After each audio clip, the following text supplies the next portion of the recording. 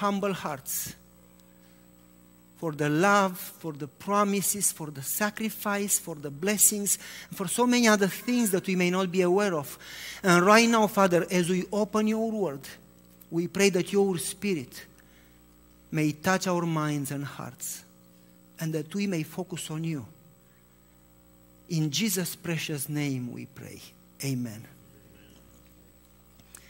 We started to, long ago, some time ago, studied the book of Daniel from a different, different perspective. Not so much the beasts and the image, but more we talk about the background, the spiritual part of the book of Daniel. What happened then and there. And if you missed the sermons, feel free to talk to the media people. They will provide for you a whole set with everything so far. Free of charge. Isn't that something? And everybody said, Amen. Yes, thank you. So feel free to ask for a copy of the uh, subject so far.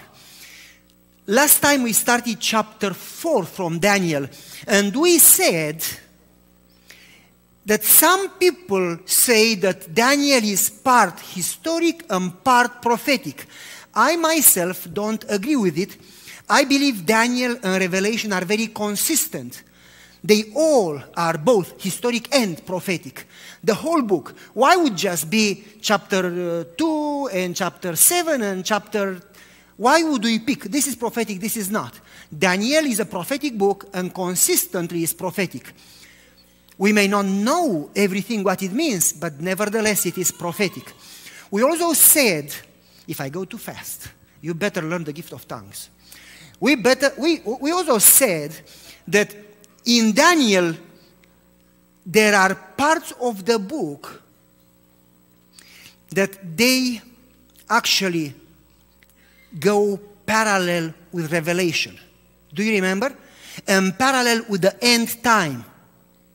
And we said that the book of Daniel is in chiastic structure, like the whole Bible, actually. Chiastic structure is a pyramid, whatever is in the beginning is at the end, and so on, and the most important part in the middle. For instance, Daniel chapter 2 is parallel with 7, same prophecy, just different perspective. Daniel chapter 3, parallel with 6. Daniel chapter 4 is parallel with 5. And we will see later on as we study what it means. Some people consider Daniel chapter 4 uh, not prophecy. Some of them talk about uh, uh, referring that Daniel chapter 4 talks about the wicked, the lost ones. Some say that um, it talks about Israel and the seven years are 360 years, uh, seven times, that means 2,520 years before Israel will be restored. Well, that's going to be a long time. Anyway, um, I disagree with all of the above. I believe, and it is my belief, I'm not saying that I'm right, I would suggest that Daniel chapter 4 and 5 refer to Revelation chapter 3 and 13, actually 17, I apologize, 3 and 17. And I will give you later what I think it means. Not that I am right, I just I'm going to make a suggestion for you. As we start, I want to give you a little of Daniel chapter 2. Uh, if you look carefully, chapter 2 talks about the image and kingdoms. Chapter 3, persecution. Chapter 4, judgment. Chapter 5, judgment. Chapter 6, persecution, like 3. And chapter 7, beast kingdom, like image kingdoms. Do you see the, para- the chiastic structure? Let's move on as fast as possible. Next slide. I'm waiting. Oh. Okay, I'm going to move on. Let's, we talk about the three symbolism the three symbolism from chapter 4, Nebuchadnezzar had a dream. And he dreamed a big tree that went up to heaven, and the beasts were under the tree, and the birds in the tree, and they all had food. And the tree could have been seen from the end of the earth. The tree symbolism, I gave you last time enough historical evidence, a bunch of quotations from history, and proof from archaeology that it was a common knowledge that the tree was the symbol for a king or a country or a great power. So there was nothing new about it. I'm going to stop right here and give you a story. As we start chapter, as we continue whatever we dropped last time, chapter 4, we said that chapter 4, it is about humbleness. That is a vital condition for salvation, that Christians are humble people. And none of them who are proud would see heaven. I want you to hear, because this is from Bible, this is not from me. And I'll give you enough evidence later. I want to give you a story. I was about 16, 17. I loved motorcycles.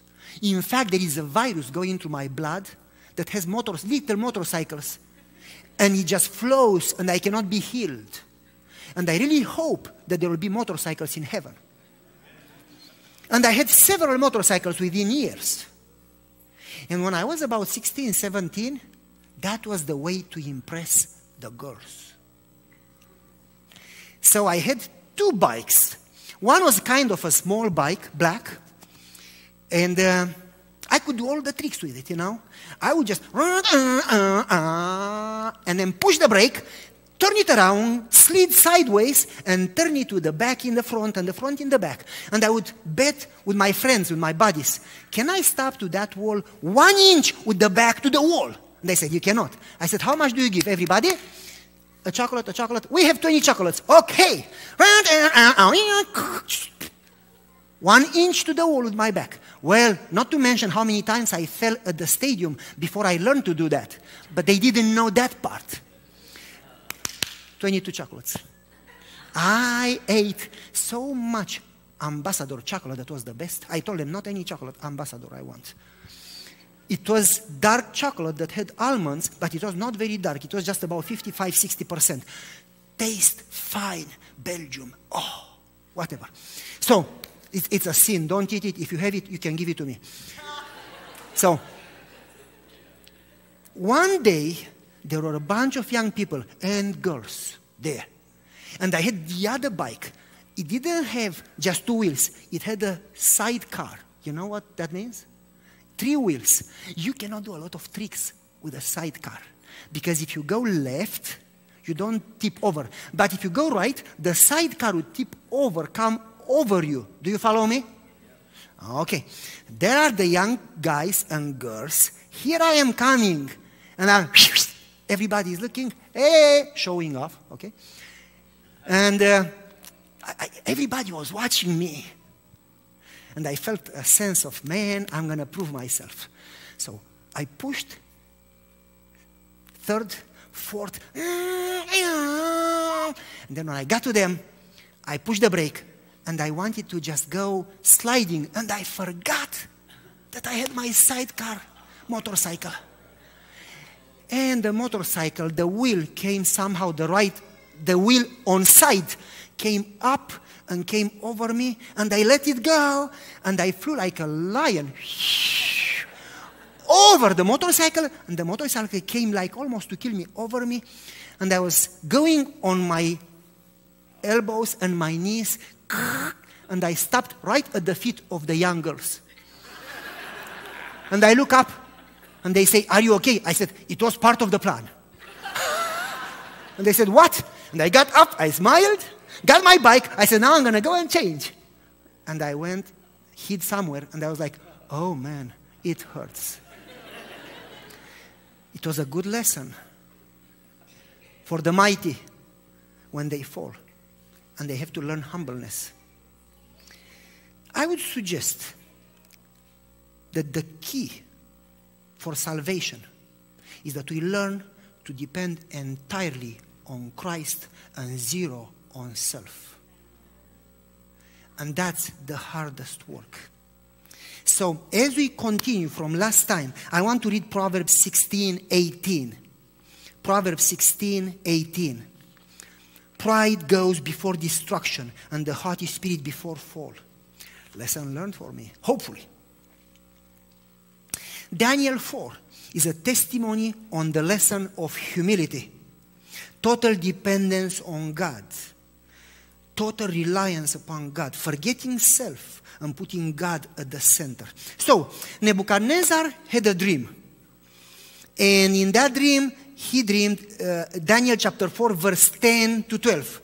There were visions on my head while on my bed. Uh, if we have the slide, we can put it on. I'm just going to put it in a few words. He dreams a tree that is tall, all the birds come under, verse 13 to 17. And he, in that time, when he looks to that tree, he hears a voice from heaven, the heavenly watchers, it say, that say, cut down the tree, chop the tree. Chop down the tree, cut its branches, strip it off the leaves, and so on and so forth. However, leave the stump and the roots, and bound them with a band of iron and bronze. Let him, it doesn't say it, it says him. Let him be wet with the dew of heaven, and so on and so forth. His heart be changed from a heart of a man. Is it about a tree or a man? His heart be changed from a heart of a man into a heart of a beast, and so on and so forth. And then he says, let seven times pass over him. The, de- the decision is by the decree of the watchers, and the sentence by the word of the holy ones, in order that the living may know that the Most High rules in the kingdom of men, and he gives it to whoever he wills. Okay. And we said that as the king had the dream, he called all the magicians and wise men and said, This is the dream. You remember in chapter 2, he had the dream, but he could not remember the dream. Now he does remember the dream. This is the dream. Give me the interpretation. And that was obvious. I could give you several examples from Ezekiel, from Isaiah, that in the Bible, tree would be used for a king or a kingdom. It was obvious it's about him. In chapter 2, when he sees the great image, the beast and the birds were fed by the image. And now again, the beast and the birds were under the tree being fed by the tree. He knew that it was about him. So he says, Tell me because this is bad news. And they say, Oops, we don't know the interpretation. They did know the interpretation, they just didn't want to give bad news. So eventually, Daniel comes in the Aramaic, in the original. By the way, chapter 4 is not written by Daniel chapter 4 is written by Nebuchadnezzar. I hope you know that in the Bible. So Nebuchadnezzar actually wrote a chapter in the Bible. Okay?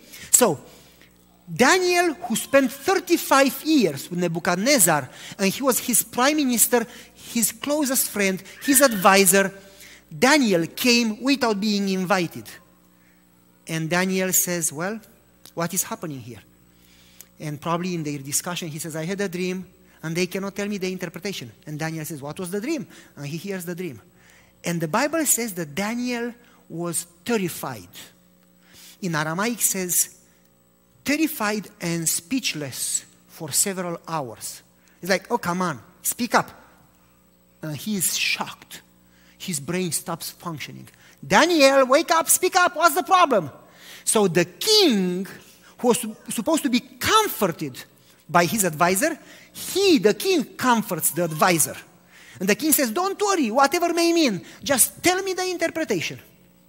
And we go to the interpretation. I want you to know that pride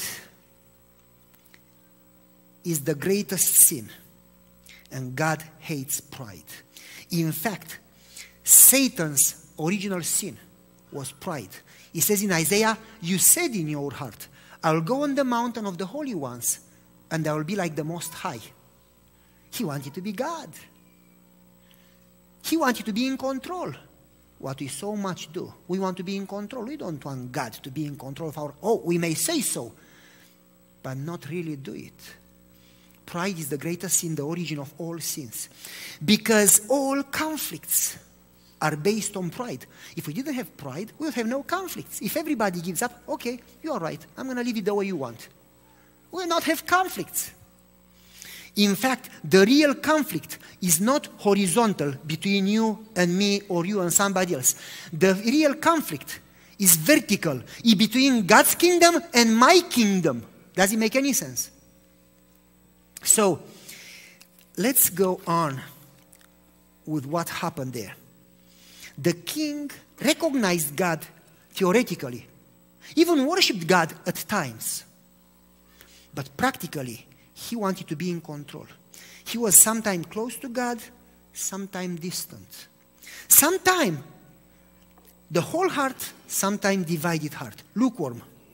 He trusted God, but he trusted himself. He says, Is this not the great Babylon that I have built, the house of my kingdom for the, the might of my power and the honor of my majesty? Verse 30. So God allows trials to teach him a vital lesson. And now comes the interpretation. Verse 19. Verse 19. And Daniel says, My Lord, may the dream in a very tactful way concern those that hate you and be for your enemies. Here's the interpretation, verse 20 to 22. The tree that you saw and became strong and so on and so forth, reaching to heaven, you are the tree. So far, so good, no problem. The expression, the tree stretching up to heaven, I checked it in Aramaic, doesn't refer to height but to attitude. Did you hear what I said? Doesn't refer that it was tall up to heaven, but his attitude was, I want to grasp that. I want to be like that. The same expression, it's used in Genesis 11:4 at the Babel Tower, when they said, let's build a tower up to heaven. It was not as tall as up to heaven, but as powerful as we would control heaven, not heaven control us. We'll control the rain, not God. We'll control our lives, not God.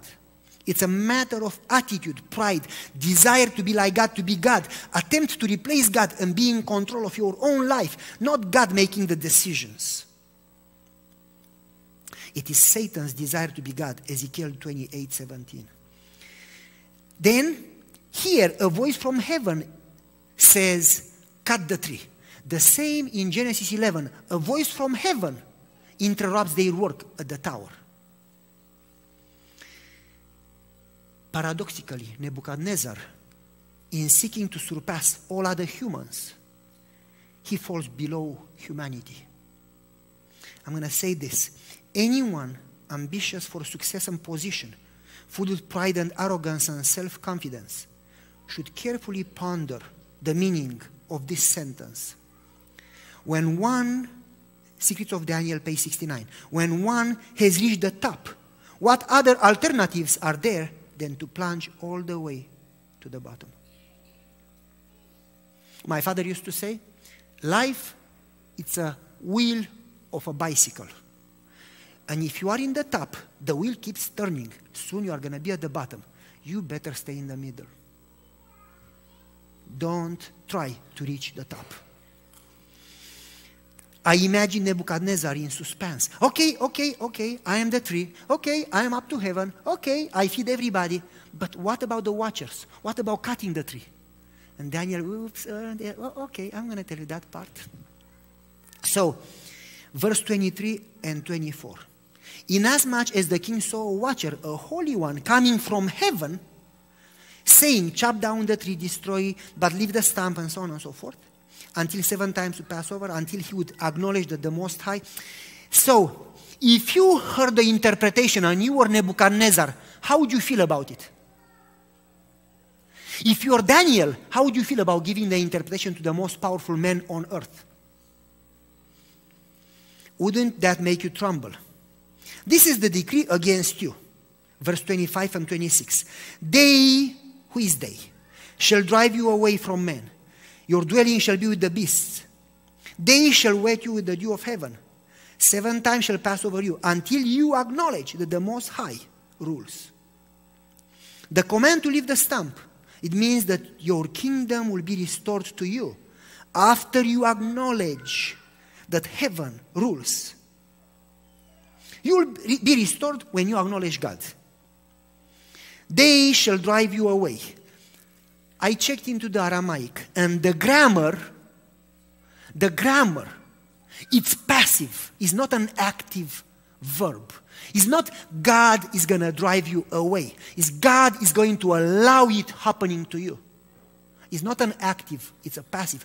God doesn't reject, But God, when we are proud enough to say, I am in control, God says, I'm going to let you be in control for a second. And He withdraws His blessing. You remember the snakes in the wilderness when He says that God sent fiery snakes. Well, I checked that expression in Hebrew, and He says God allowed the snakes who were there. The snakes were there in the wilderness, but God kept his hands around Israel protecting. When they said, We don't need you, leave us alone, God said, Okay, I'm going to leave you alone. And the snakes came and killed them. God allowed it, He withdrew His blessing and protection. As we move on, who is they? Is not political rebellion, not some people plotting against the king. In the original, it refers to heavenly beings coming from heaven. And it's the translation, it says, those from heaven who can make decisions. So it, and it's plural, so it refers to Trinity. The seven years that would pass over him is not, as some people say, seven prophetic years, because the Aramaic word is Aidon, that means seven different passing of seasons spring, summer, fall, winter. Second time, third time, seven times passing the seasons. It means seven literal years. Let me ask you, why seven? Why? Not eight? Why not five?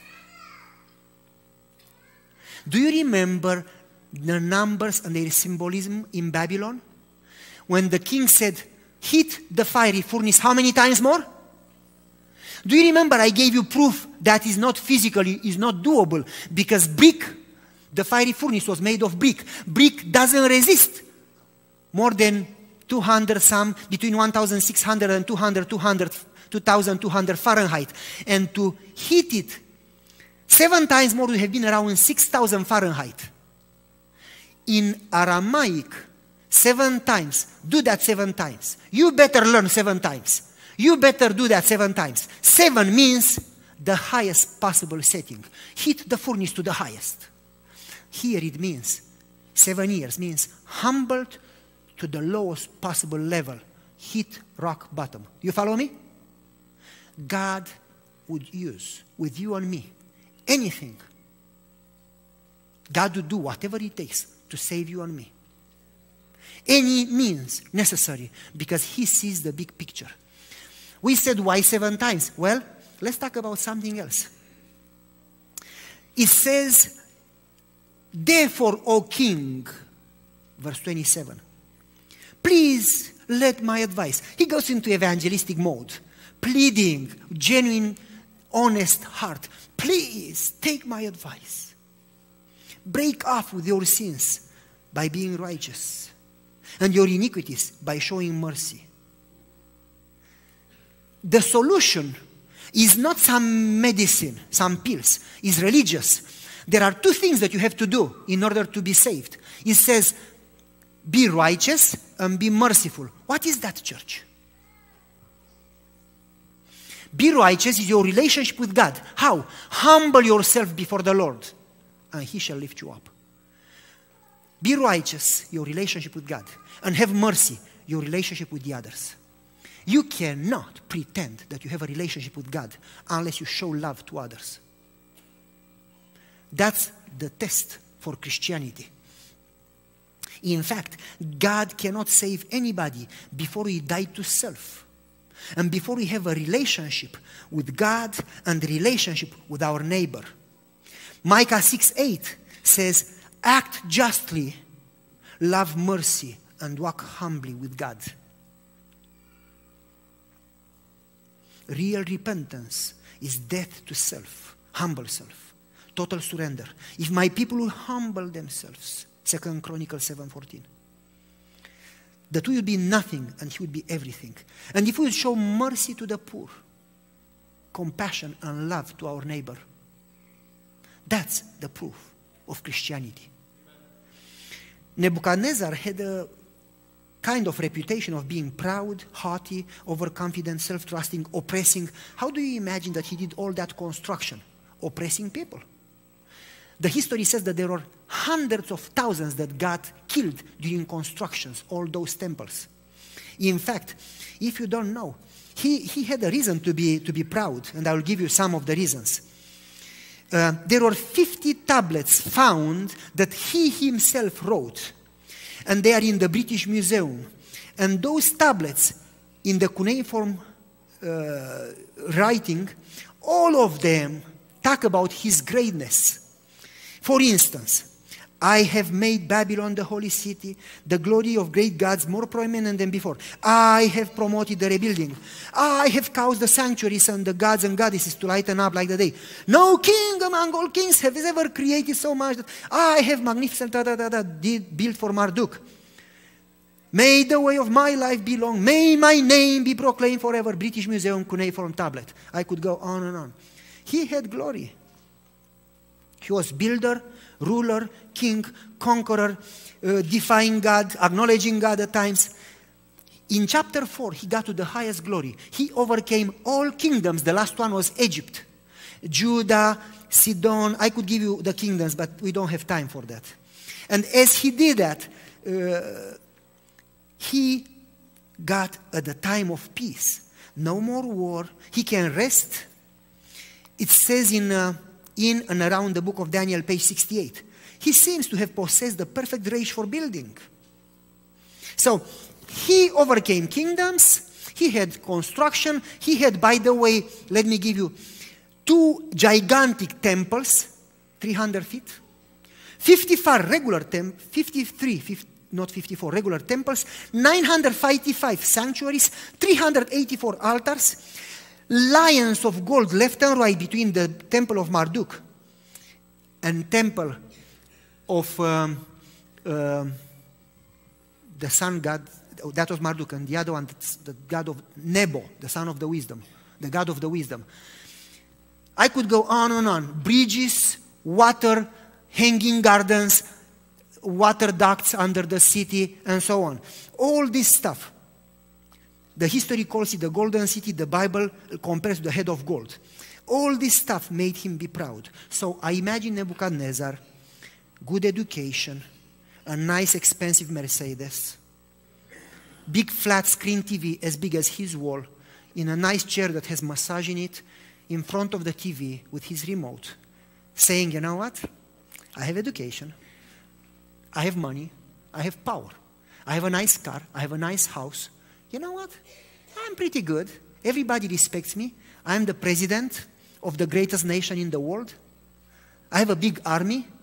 I'm pretty good. I've done this and that. Well, I'm humble, but I did, have a, I did accomplish some things. Self sufficient, secure, possessing everything. He believes in God, but he has idols too. He trusts God, but he trusts self too perfect description of Laodicea. Revelation 3, the last church in the world history, Laodicea. The Bible says, You are lukewarm, neither cold nor hot. Because you say, I am rich, increased with goods, I have need of nothing, and you don't know that you are miserable and poor and blind and naked. Revelation 3:16. So we seem to have everything. We have the right programs, the right doctrines, don't we? We have the right jobs, the right homes, the right homes, uh, the right technology. We have peace. We are at rest. We believe in God. We do have some idols. We trust God. We trust self too. So let me put a slide for you, and I would suggest what the chapter is talking about. And this is a difficult slide. I don't expect that we'll fully understand today. Daniel chapter 4, parallel Revelation 3, and Daniel chapter 5, parallel Revelation 17. Daniel chapter 4, parallel with Daniel chapter 5. In 4, Nebuchadnezzar, in 5, Belshazzar, two kings, both fallen. In 4, representing Laodicea, in 5, representing Babylon, the fallen world, the fallen religions. In 4, fallen king, in 5, fallen king. Like like Jesus on the cross, left and right, to sinners, to thieves. Just one repented, one didn't. We are all sinners. We are all enemies. in 4, there is a judgment.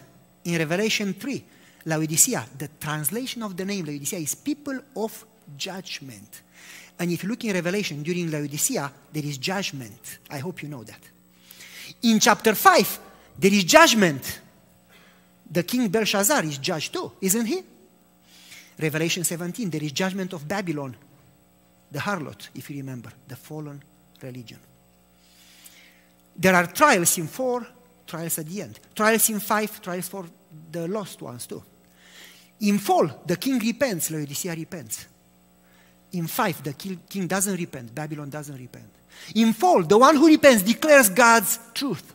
In five, they use the wine of Babylon, that is false teachings. In four, the king is saved, delivered, restored. Laodicea, delivered, saved, restored. In five, the king is lost, conquered, destroyed. Babylon, destroyed. Does it make any sense at all? I believe the last generation is enough important to be mentioned in the Bible. And I suggest, I'm not saying for sure, but I suggest that this is the parallel. Let's move on. God cannot stand pride. And what is the lesson that God wants the king and wants Laodicea to learn from Daniel chapter 4 and from Revelation chapter 3? What would be the lesson? Proverbs 16, 18. Pride goes before destruction. 1 Peter 5 6. Humble yourself under the mighty hand of God, that he may exalt you in the due time. So let's go to the story. Verse 29 and 30 from Daniel chapter 4. Verse 29 and 30. I'm trying to finish. Let's go to the story and give the lesson. 12 months later, as the king was walking on the roof of the royal palace. So, so, so, so, so, stop for a second. As the king was watching. Until now, it says, I dreamed a tree. I heard a voice. I, I, I. Now it doesn't say, as I was watching. He says, as the king was watching. So he switches from the third person to the third person. So it is suggested by scholars that this part is not the king writing it, is somebody writing about self because he was not able. Or he writing about himself later after the incident. He switches to the third person. As the king was watching, what happened? Let's go on. He said, and we can jump over the Bible. This isn't this the Babylon that I, I've built for my power and my glory and my majesty. Verse 31 and 32. While the words were still in the mouth of the king, a voice from heaven came and said, King Nebuchadnezzar, this is the decree for you. Your royal authority will be taken away. They shall drive you away from men. What happened to the tree? And you, there will be seven times over you. You will be with the beast and Anyway, until you acknowledge that the Most High rules over the kingdom of men. Verse 33 right away, in that very hour, the word was fulfilled. He was driven away from men. He ate grass like oxen. His body was wet to the dew. And he got big nails and so on and so forth. So, for the next seven years, Nebuchadnezzar, the big, proud king, walks on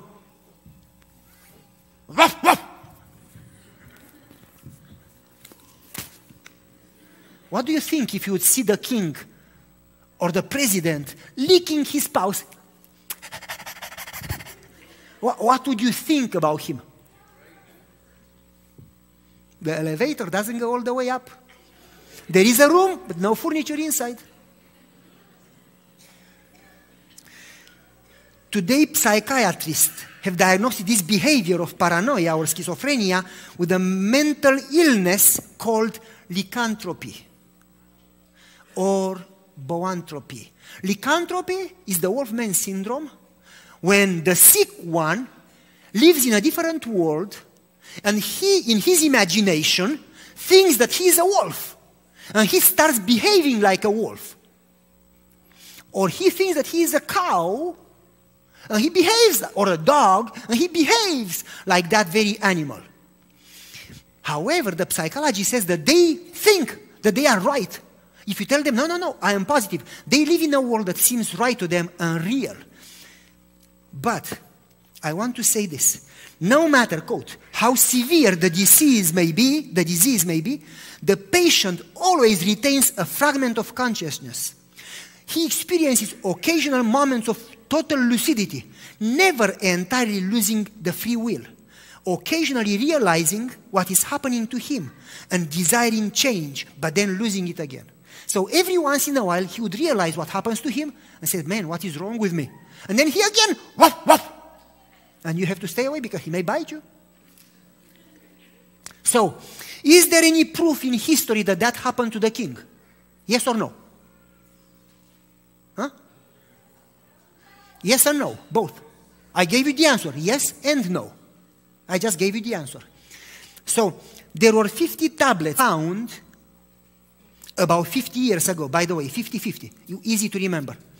None of them talk about the king's disease.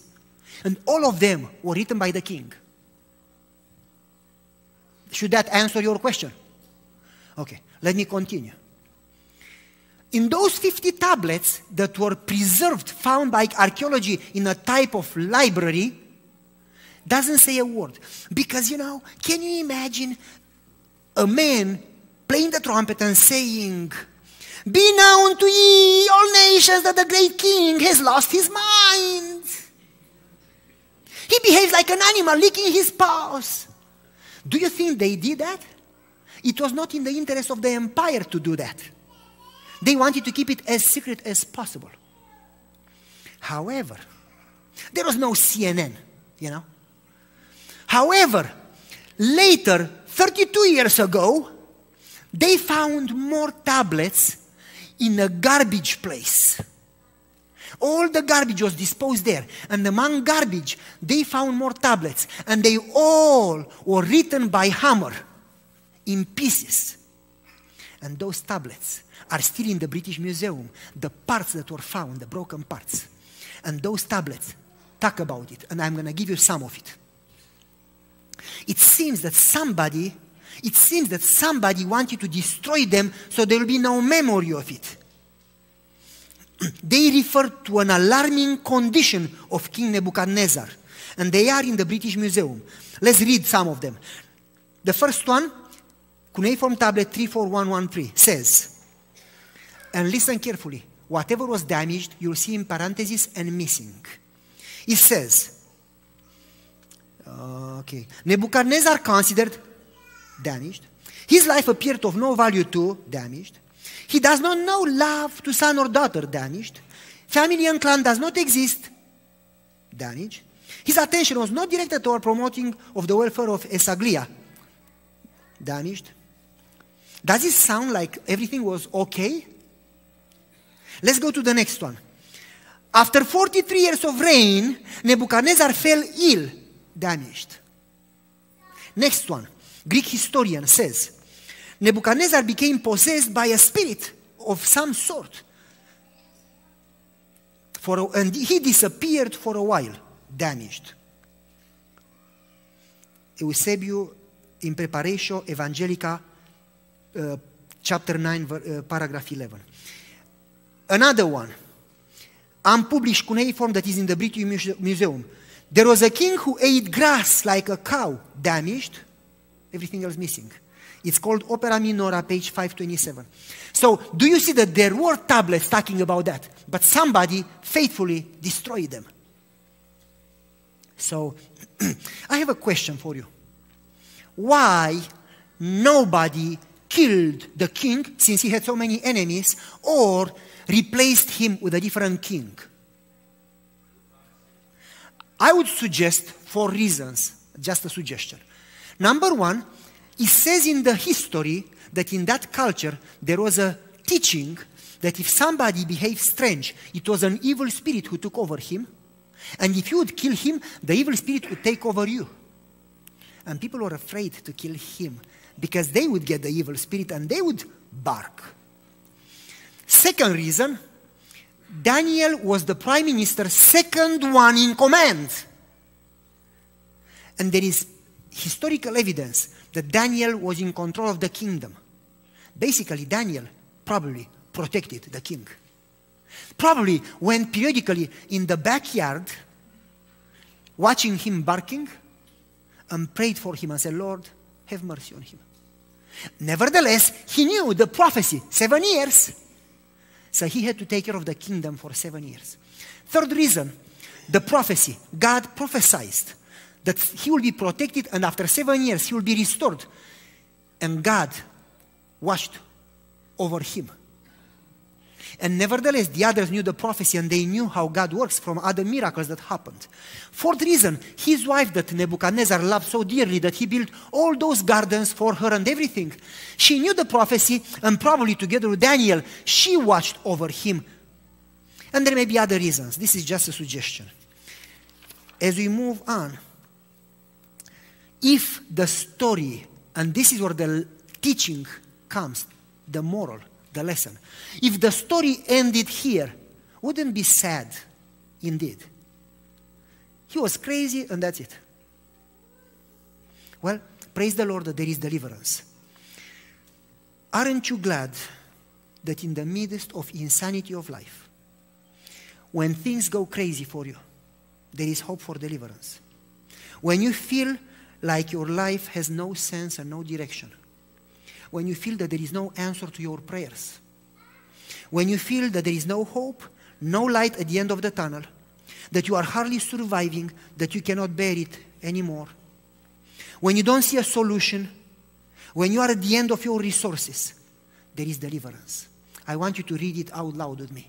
Man's extremity is God's opportunity. Would you say it again? Man's extremity is God's opportunity. At the end of our ways, God has a thousand ways. Isn't that nice? Let me suggest that God didn't just watch for him, but God actually used it to turn it in good. I'm going to read for you Daniel 4, verse 15. The expression bind him with a band of iron and brass until seven times would pass over him. Scholars, unfortunately, translated like God put him in bondage to make sure that he will not escape seven years. I refuse to believe that. So I went there to translate, and they do something unbelievable. They try to translate it through the Hebrew culture. And that's in Aramaic. So I went to the Aramaic and I took the very expression to band, band of iron and brass. And I went to the Aramaic Old Dictionary. And the translation is used when you make barrels and you put a band to hold them from breaking and opening. And it's translated this way put a band that would keep the broken from splitting and breaking more. Did you hear what I said? He's not talking about God putting him in bondage to make sure that he will not escape. He's talking about God watching over him in the time of distress that he will not break even more. His grace. Do you follow me? God watching over him in the time when he is not even aware to make sure that he is protected and preserved. Aren't you glad that in the time when you don't know what is going on in, in your life, when you go through trials, God will put a band around you to keep you safe. What a promise. The king needed to learn humbleness. Nevertheless, God didn't give him up. Isn't the time for us to learn humbleness? Not theoretically, but practically. Not just to say that you trust in God, but to actually trust in God. Jesus in John 5:19 says, "I don't speak my own words. I speak the words that the Father gave me. I don't do my own deeds. I do the deeds that the Father tells me to do." Why would Jesus do that? Do you think that Jesus didn't have a brain? He was not very smart? Or that he depended so much on the Father that he never wanted to trust himself, but he would rather trust the Father and fulfill the Father's agenda daily. What would be if we all learn the lesson of total reliance on God and zero reliance on self? What would be if we all learn to die to self daily, as Paul says. I love this part, verse 34. At the end of the seven years, I, Nebuchadnezzar, do you see that he switches from third person back to the first person? He's back, his mind is back. I, Nebuchadnezzar, lifted up my eyes to heaven. He's not talking about an animal looking if it rains.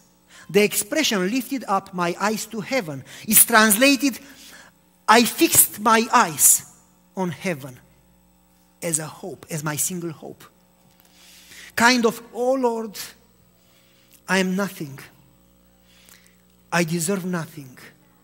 I can do nothing. Without you, I am not worth and I cannot survive. I just learned my lesson. But you, Lord, you are my only hope. I owe you everything. Without you, I cannot even move. You are my life and my joy. There is nothing that I desire except you. There is no one that I trust except you. You are my joy. You are my salvation. I acknowledge you in all my ways. In all your ways, acknowledge him, and he shall direct your path. Proverbs 3 6. I will lift up my eyes to the mountains. From where shall my help come? My help comes from the Lord. Psalm 121, verse 1 and 2. I lifted up my eyes to heaven, and my understanding was returned to me. And I blessed the Most High. I honored him. For his dominion, not my dominion, is everlasting. His kingdom is from generation to generation. Next two verses, verse 36 and 37, he wrote under poetry and song. So you want to know, chapter 4, verse 36 and 37, it's a song that, he, as a doxology, he sang for God, uh, like poetry. And he says, At the same time, my sanity was restored, and my honor was, and my splendor was returned to me for the glory of my kingdom. He's kind of jumping up and down. He says, and you know, my advisor and my noble sought me, and la la la la, restored my throne and became like greater than before. Now, the refrain, I, Nebuchadnezzar, praise and extol and honor me, the King of heaven, all whose works are true. He, his way is justice. Those who walk in pride, he is able to humble.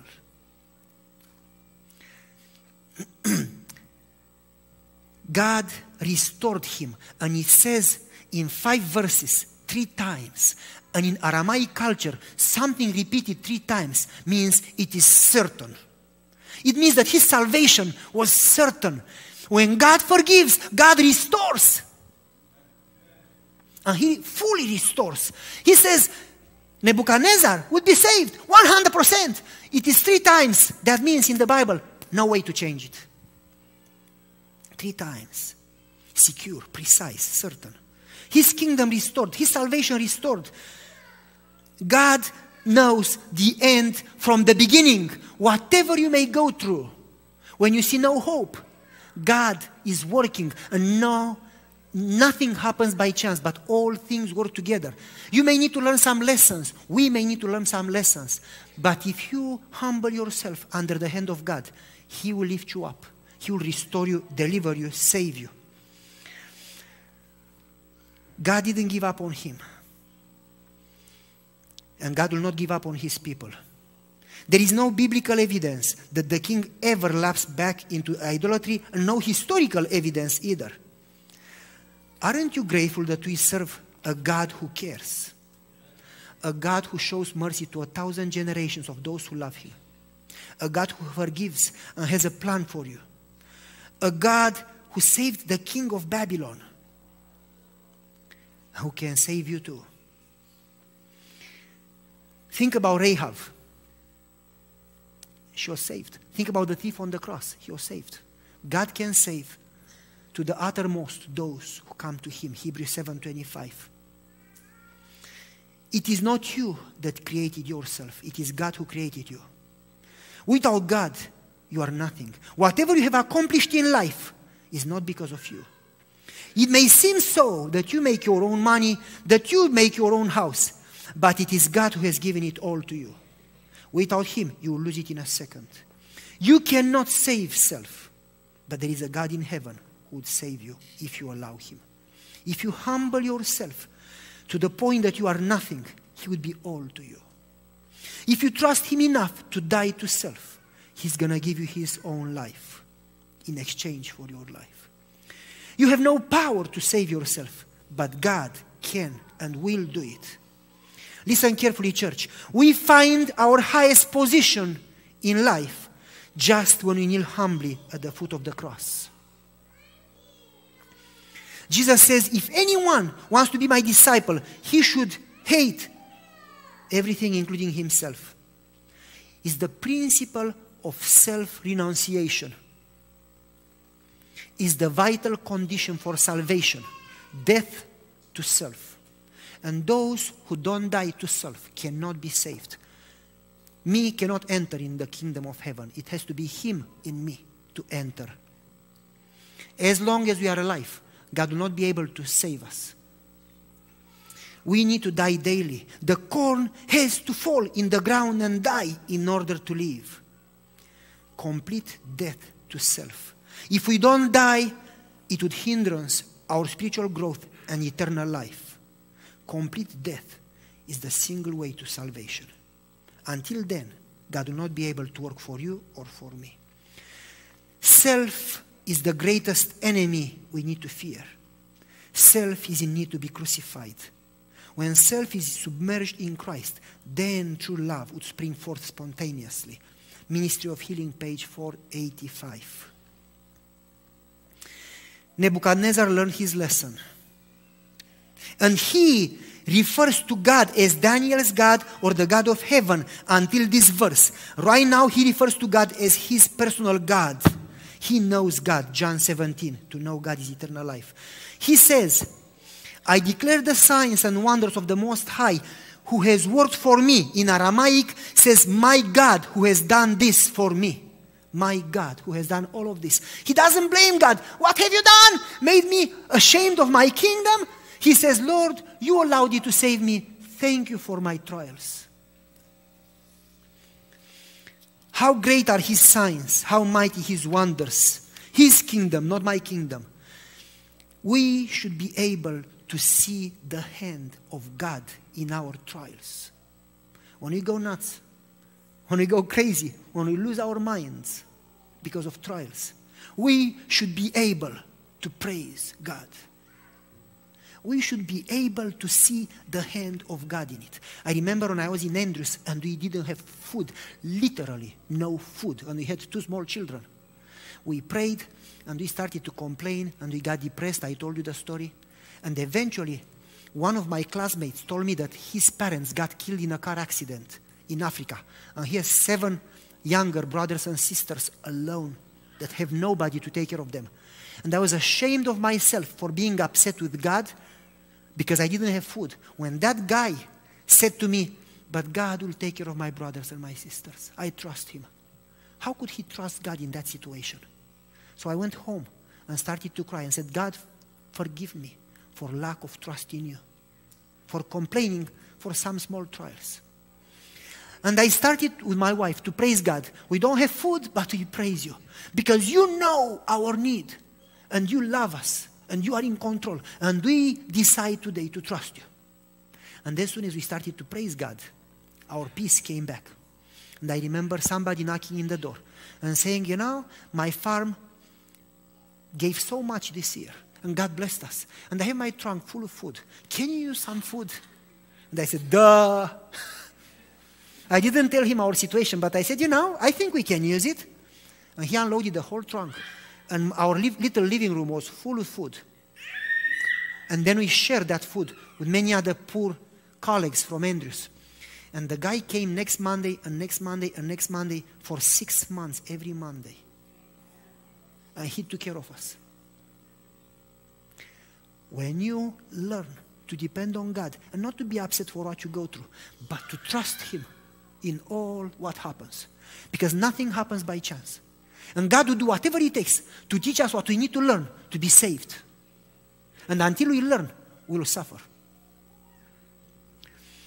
If you lift up your eyes towards heaven and recognize that He is everything and you are nothing, and you depend on Him, and you collapse before the Lord, broken hearted, and you acknowledge Him, and you depend on Him entirely, He will lift you up. Humble thyself in the sight of the Lord. Learn to depend entirely on God. God opposes the proud, but shows favor to the humble. Pride comes from Satan, humbleness from Jesus. Humble yourself under God's mighty hand, that He may lift you up in the due time. Don't seek pride and arrogance, seek service and humbleness. Let Him lift you up. I pray that you and me will learn this essential, vital lesson, so necessary for the end times, so necessary for God to be able to use us and to save us, so necessary for us to be with Jesus forever. It's nothing about you, it's all about God. Forget self, focus on God.